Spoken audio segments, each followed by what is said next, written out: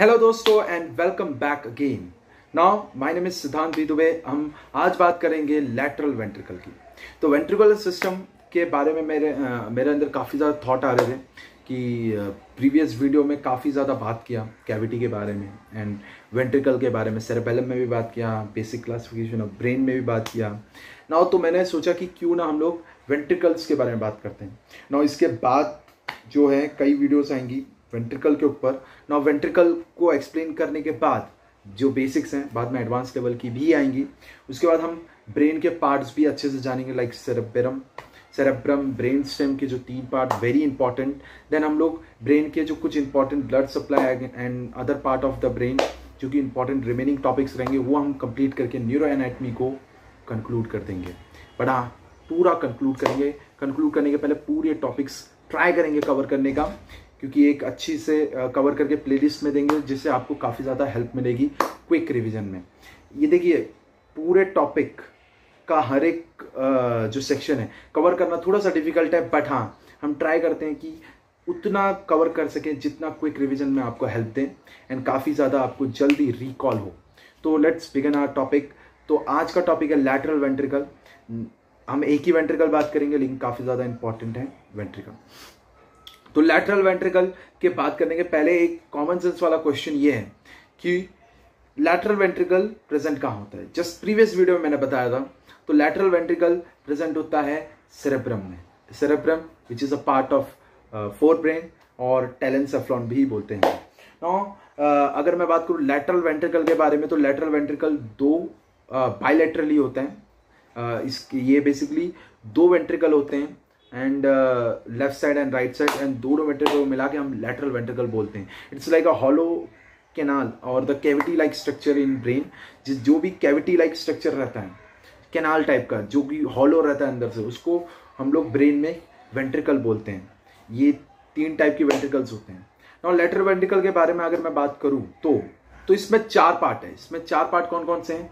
तो एक है body that is central part then तीन हॉर्न है horn H O R N तो कौन कौन से हॉर्न है? Interior horn posterior horn and inferior horn तो दोस्तों, अगर मैं बात करूँ इसके सेंट्रल पार्ट के बारे में बॉडी के बारे में तो काफ़ी ज़्यादा इंपॉर्टेंट है।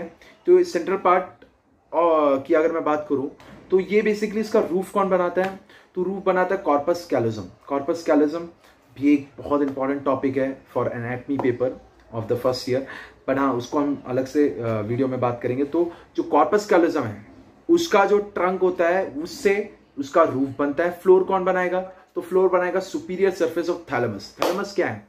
प्रीवियस वीडियो में एज यूजल मैंने बताया thalamus is a part of what part of diencephalon that is also sub part of the forebrain तो थैलमस का जो सुपीरियर सरफेस है, उसका फ्लोर बनाएगा।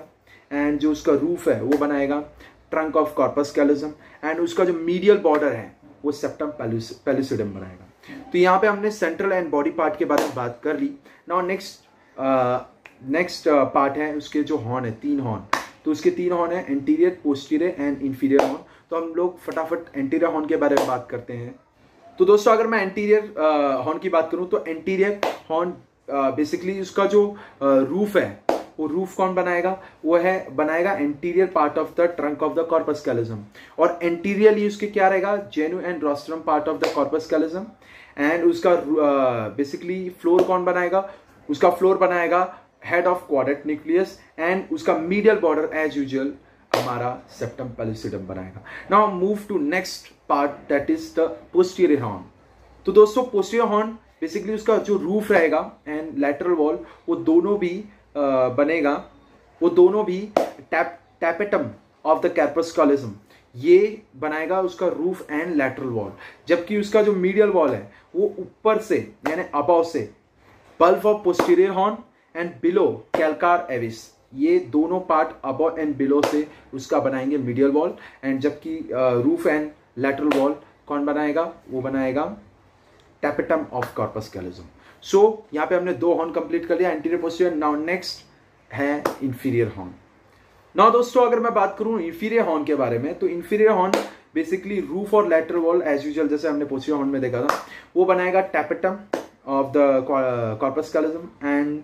one more part that is the tail of the caudate nucleus and दो चार part और वो आप बुक से एनेटमी वॉल्यूम फोर से पढ़ सकते हो।